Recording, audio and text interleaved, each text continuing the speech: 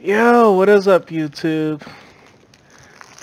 I'm a first time Unity developer, so I don't know too much, but I'm currently learning how to use Unity with Oculus Rift VR. So I was having a little trouble just following some guides on how to get the touch set up with interacting objects, so I wanted to make this little video for you guys. So first things first, you know, you just create a new project. You want to make sure the project's set up for VR you go up to your build settings and then player settings.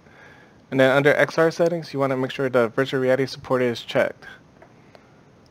After that you want to go to their asset store and just type in Oculus right here up in the search bar.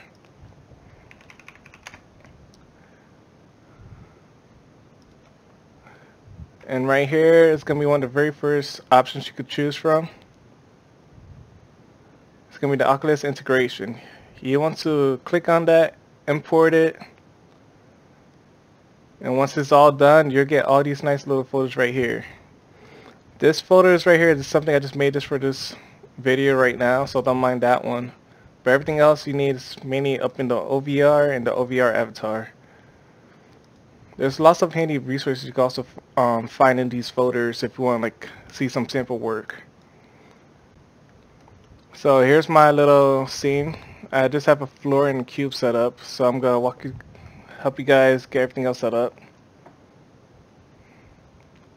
First thing you want to do, you want to click on the OVR folder, then go to prefabs. Then you're gonna grab this one right here, the OVR player controller. Just drag it right onto your scene. This is the prefab for showing how your, well, um, for like showing your camera on the headset. Gonna drag that right around for when you play. So if we start it right now, you'll be able to look on the screen and this is already set up with the controller so if you have the controllers with you you can use it to move around the right analog sticks just changes your view while the left one is for movement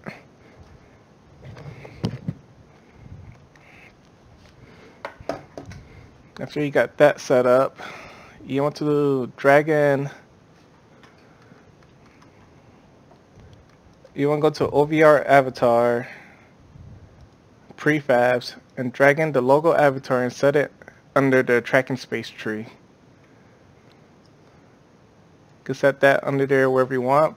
So now if we actually go into the view, we're going to have the avatar hand set up. Alright.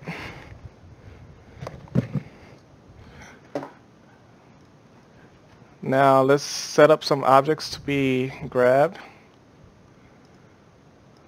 What I'm going to do, I'm going to create a 3D object of a sphere. I'm going to reset the position, set it up right here above my little table. Let's scale it down a little bit.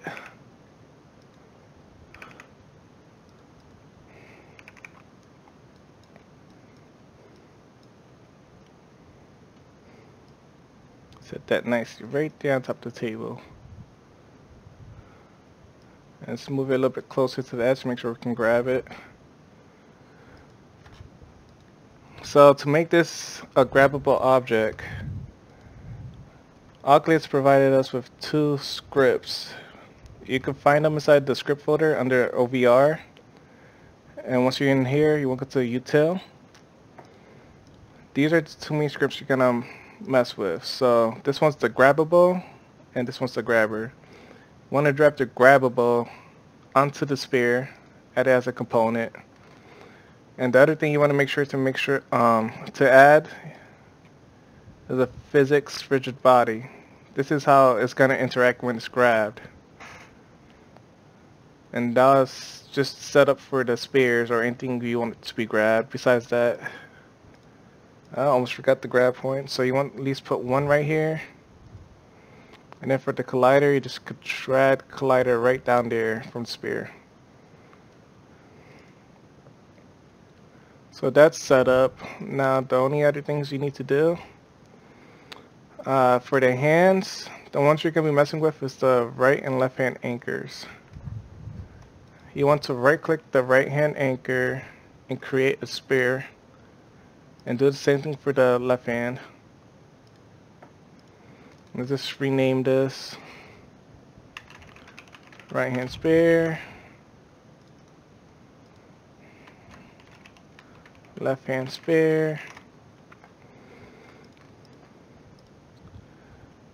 And on the anchors themselves, you want to drag the grabber script. Add as a component.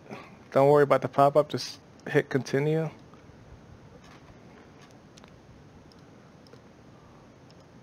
And let's scale these spheres down a little bit. I like 0.2.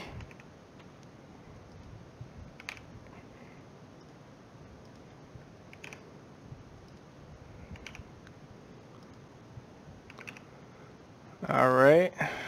Now, if we go into the view real quick, we should have some spheres for hands. And right now, just puts the sphere out the floor, but this is what you want pretty much. The size of the sphere will pretty much determine your grabbing area. So mess with that to get like a more realistic feel. You can like change the position on your hand, the rotation won't really matter because it's a sphere.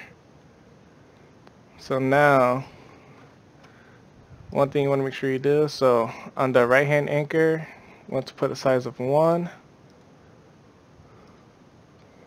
And then you want to drag the sphere for the right hand into the grip transform and the collider.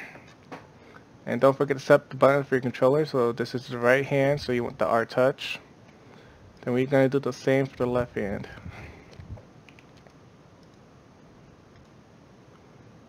Drag the left hand collider in here and the left hand sphere grip transform.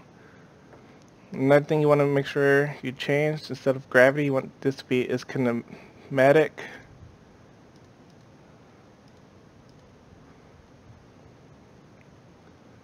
Alright, now on the spheres themselves, you want to make sure its trigger selected on both the spheres for your hands. And with that, we should be able to start grabbing some objects.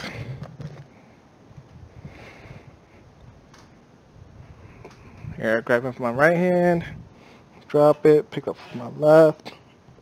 Ah, guess I forgot something.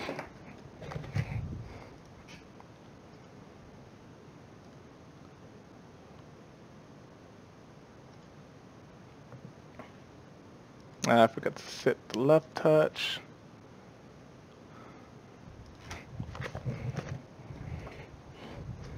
And now the left hand is also working.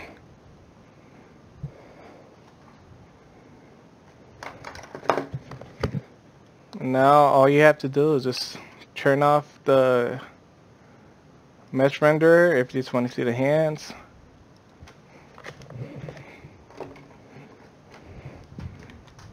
and now you're grabbing your objects. So pretty much all you have to do is mess with the size position on the spheres and to get a more realistic grab feeling going on. And you can just turn on the mesh render to see the radius. And that's just about it. Thanks for watching my video.